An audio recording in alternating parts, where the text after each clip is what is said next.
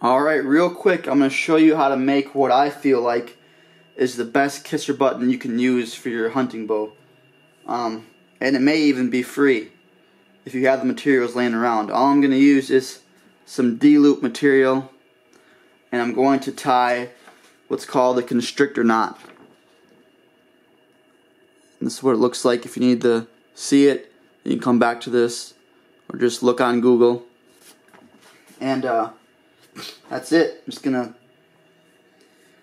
what I do is I start out I tie it up on this part of the string not on the serving I know it's gonna be down here after I'm done but for now I'll put it up here and I'll and I'll sh show you why in a second so let me just get this tied on here Like pull these two sides as tight as you can. Okay. And you're just going to cut these off like you would if you were making a uh, D-loop. Cut them off. And then going to want to burn the ends. So you got a lighter that works.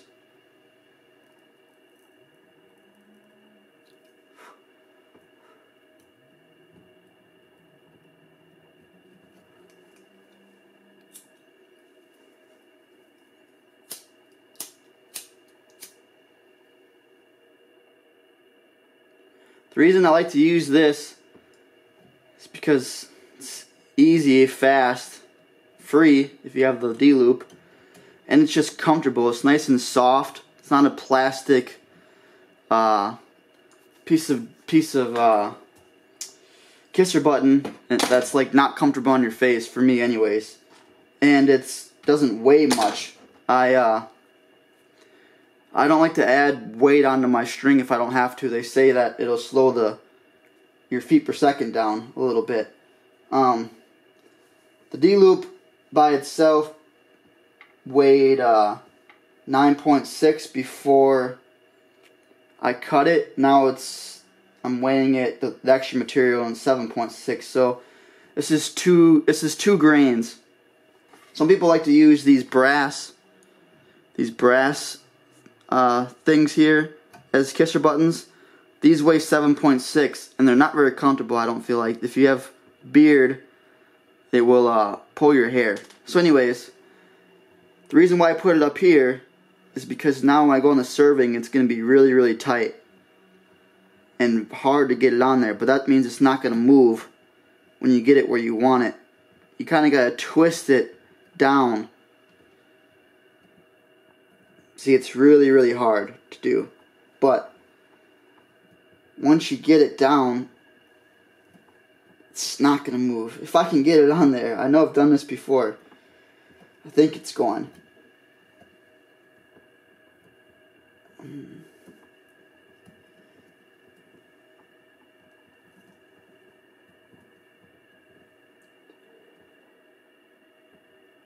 Yeah, it's going on the serving.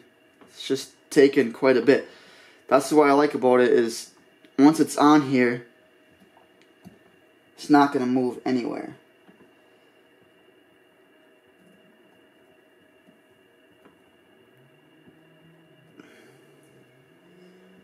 I almost got it to where I like it. Mm.